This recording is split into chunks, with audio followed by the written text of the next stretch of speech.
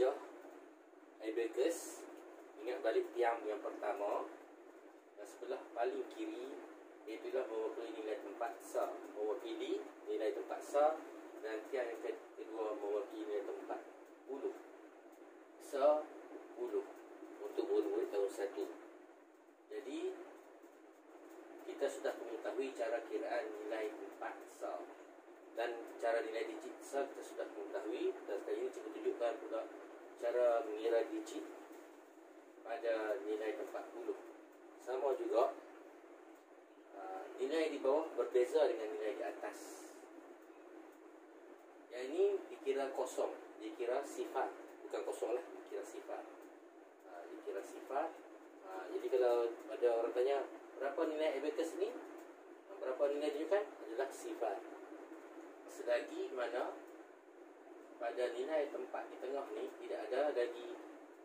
man, uh, abacus yang berada di sini. Maksudnya sifat dalam kedudukan yang asal dia kata sifat bila dikira apabila contohnya uh, uh, abacus ni abacus naik ke atas uh, baru dikira satu. Tetapi kali ini bukan satu satu satu satu sah tetapi adalah satu puluh. Ini dikira sepuluh sebab nilai tempatnya tiang yang kedua. Tiang pertama sa tiang kedua dibilang secara puluh. Sepuluh.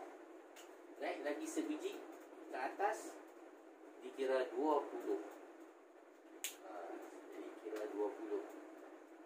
Dan seterusnya sepuluh dua puluh tiga puluh begitu ha, dibilang secara puluh.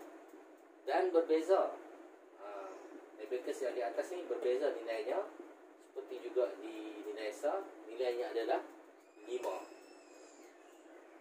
nilainya ada 5 bila berada di tiang di tengah ini ini bukan 5 sa ini adalah 50 50 kita tambah saja. 50 kita tambah ha? tambah. 5 satu-satu ni tambah. 50 60 70 ha, bila ditanya berapakah nilai? Abacus ini nilainya adalah 70 cara kiraannya ha, apabila kita naik ha, yang di bawah naik ke atas ha, ingat ini nilainya satu sa lah. Jadi nilainya adalah 71 That's